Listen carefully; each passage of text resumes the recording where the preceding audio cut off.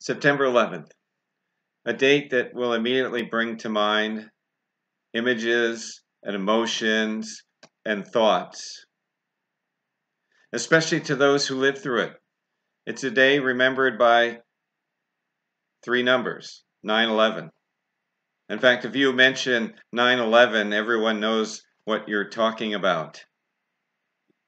It's a day remembered so distinctly by people that they can recall where they were when they received the news, or where they were when they watched the towers come down or the planes crash.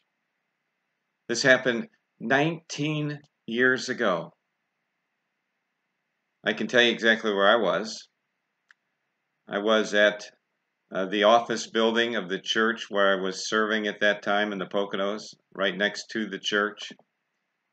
I was standing outside the secretary's office when we received word.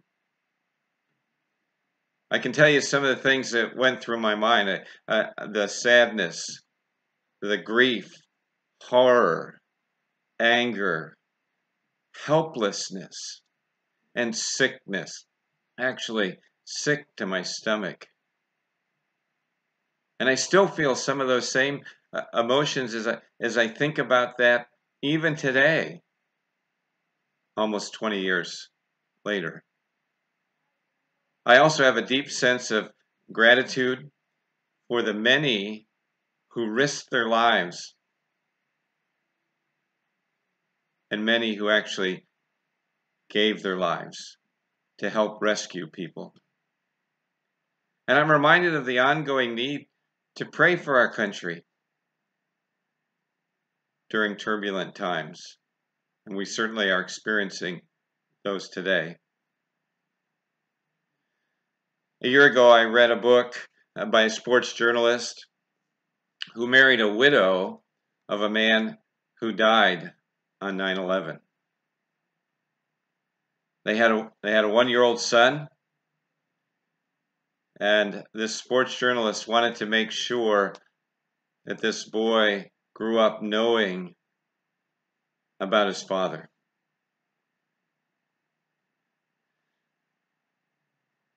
Nine eleven affected so many, many relationships. And in the midst of that horrible event, we're reminded of the brevity of life, that we're only guaranteed the very moment that we're in right now. We're reminded of the value of relationships. And we've been in the midst of a series, Me to We, which concentrates on relationships. That God has made us to be connected with Him and with one another. And this is leading up to the launch of our home groups that we hope provides the connection and helps with that connection with, with God and with one another. We began with this idea that there's been a great disconnect in our relationship with God. Adam and Eve sinned in the garden. And that sin passed down to each one of us in the way of us having a sin nature. And we're also described as those who sin as well on our own decisions. So therefore, we're sinners by birth and we're sinners by choice, and it's caused a great disconnect. And the only reconnection is through Jesus Christ. That you and I can't earn or deserve God's forgiveness. In fact, we are described as being God's enemies being under his wrath, being under his condemnation. And our only hope is what Jesus Christ has done on the cross. That God the Father sent God the Son to live and die and rise again for our sin. That we could be reconnected with God. And how does that happen? That happens when we admit our sin, repent of our sin, turn from our sin, and turn to God for His forgiveness. Seek His forgiveness available only through the death and resurrection of the Lord Jesus Christ. And then we have a reconnection with God. And Jesus Christ changes everything. And this reconnection is based upon what God has done, not what we have done. But not only have we been created for relationship with God, we've been created for relationship with one another. But it starts with our relationship with God. That needs to be right uh, before we can have a right relationship with one another. And last week we exposed and explored this idea of uh, relationship with one another and, and what do we mean by that? And we looked at the beginning of the early church that as they met together, there were certain things that happened, and uh, certainly they uh, studied the Word of God together. Uh, they had fellowship together. They broke bread together and they prayed together. And some of the uh, results that happened, uh, we explored using the word acts. the letter A, they, they were in awe of God. They saw God doing amazing things uh, through the apostles. And God continues to do amazing things. He continues to be the God of the miraculous. In fact, the salvation of any one of us is a miracle. And then the letter C, we explore this idea of caring for one another. That as the body gathered together, the church, they saw needs that each other had because they got to know each other in a deeper level. And they even were willing to sell their possessions to take care of those needs. They cared for one another. And, certainly, one of our goals in these home groups is that we would get to know each other better and realize the needs of one another and be able to care for one another. And then the letter T is time. They took time for each other. They spent time together.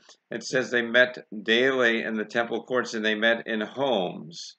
And so we want to make time with one another a priority as well. And then the letter S is salvation, that they saw people come to faith in Jesus as they met together. And this happened after uh, 3,000 people came, came to faith in Christ when Peter preached. So God was continuing to work. It didn't stop at the 3,000 coming to faith, but daily people were coming to faith in Jesus Christ. And this past week, we encouraged and challenged you to do the one another's of Scripture. And there are many, many, many of them. And hopefully, uh, you've been able to do those. And we want to encourage you to have that be an ongoing thing as well. And this week, this Sunday, as we gather, we want to think about this question What about those who have yet to come to faith in Jesus Christ? Jesus, before his ascension, said to his closest followers, he gave them this command make disciples, make committed followers of me. And we want to see that happen in these home groups.